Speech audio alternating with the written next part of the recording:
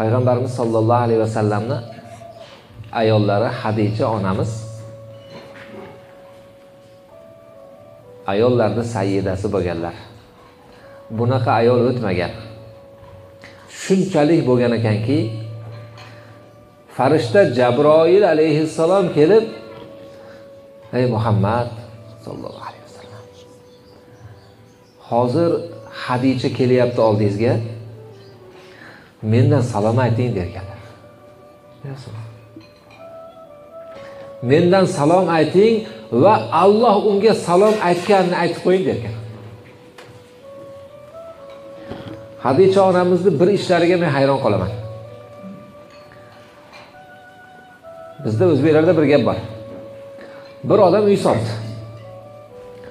Uy solishlikni uy solgan odam biladida mashaqqatini unga ketadigan materiallar u bitguncha qilinadigan xizmatni hammasini endi u biladi nima ekanligini. Shu bir yerda yetishmovchilik bo'lib xotini haligi bir havoni olib kelib otasini uyidan olib kelib qo'yibdi bilasizlar buni. Uh xayriyat uyimiz bitdiya desa yaxshi ham haligi dadam bergan havon bo'lgan ekan bitib qoldiya debdida haligi xotin. Shuni buzib haligi havon turgan joyini olib ushlatib qo'ygan ekan olib borib qo'yib bir narsa qilaman men shuni debda payg'ambarimiz sollallohu alayhi vasallam hadisha onamizga uylandilar. Rasulullohni moli bo'lmagan. Uch to'rt marta hadisha onamizni karvonini olib borib kelib uncha sal narsa qilganlar undan keyin tijorat qilmaganlar rasululloh. Hadisha onamiz roziyallohu anho rasululloh uchun mollarini sarf qilishlik bu kishiga rohat bo'lgan ekan. Yigirma besh yil birga yashaganlar. Siz o'ylab turing haligi havonni yigirma besh yil birga yashaganlar. Makkani eng boy odami bo'lgan. Rasululloh bilan umrlarini oxirigacha biror so'm puli qolmagan. Hamma pulini rasulullohga ishlatib yuborganlar va mana shu narsani biron marotaba aytishni xayoliga ham keltirmagan ekan.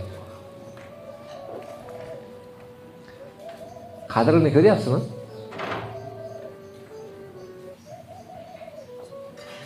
Rasulullohga shu darajada fidoyi bo'lgan.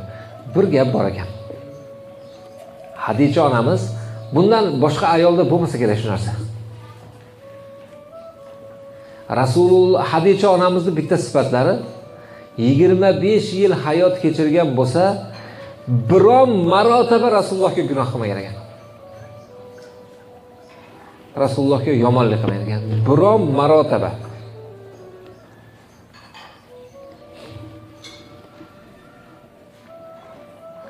Keyinchalik onamiz vafot etib ketganlaridan keyin rasululloh hadicha bunaqa edi hadicha unaqa edi deb eslaydi ekanlarda bunaqa qilardi unday qilardi ekanlar shunda oysha onamiz roziyallohu anho rashk qilar ekanlar bir ishni qarang oysha onamiz bilan hadicha onamiz ko'rishmagan. Ha? Biron marta ko'rmagan. Vafot qilgandan keyin uylangan. Hozir yo'q u. Shuni gapirayotsa rosa nimasi rashq tutib ketibdida? Yo rasululloh debdi. Alloh taolo sizga undan ko'ra yaxshilarini bergan bo'lsa debdi. Shu kampirni eslayverasizmi debdi. Desa payg'ambarimiz alayhissalom shunaqa qattiq xafa bo'lib ketgan ekanlar. Xafa bo'libdilarda. Xafa bo'lganlari bilinib qolibdi ey oysha bilasanmi odamlar mendan yuz o'girganda u menga yuz burgandi. Odamlar mendan molini to'sgan vaqtda bir odam bir natijaga erishib bir e, zafar topsa atrofida odam ko'payib ketadi. Odamlar uni yomon ko'rib mag'lub bo'layotgan vaqtda atrofidan qochib ketadida odamlar. Xossatan rasululloh uchun dushmanlari molni to'sishlikka harakat qilishgan. Rojim la tunfiqu ala man inda rasulillahi hatta yanfazzu deydi munofiqlar. Uni unga pul bermanglar deydi.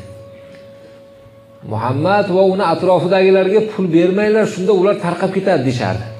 Sallallohu alayhi vasallam. Mana shunaqa paytda u menga hamma moli dunyosini berdi. Men undan farzand ko'rdim dedi.